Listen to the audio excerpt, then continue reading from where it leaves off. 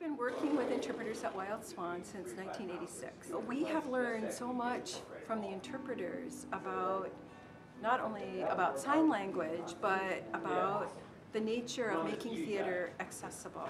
But what we didn't know when we did this was that we were going to wind up making better theater because we had sign language in our performances. What it's like to work with interpreters is incredibly exciting and enriching. For me as an actor, I draw from my interpreter partner. We make it together. I feel like without them, I am at a disadvantage. With them, I feel like we have so much more power to play up a moment, to make something clear.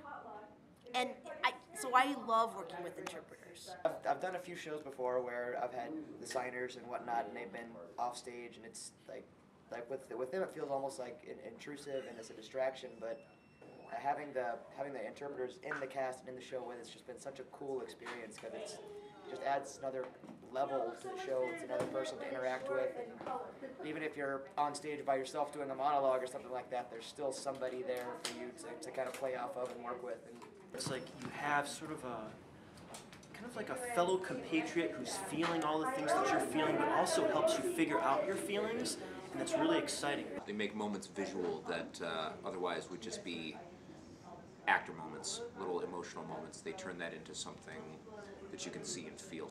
As well as I think it really helps clarify the moment and what's really happening, often better than just the words would. The signing conveys it in a way and makes it in the space so that the kids can see it and it gives them even more meaning to what the moment's about. It winds up, uh, I think, making our productions better in all kinds of ways.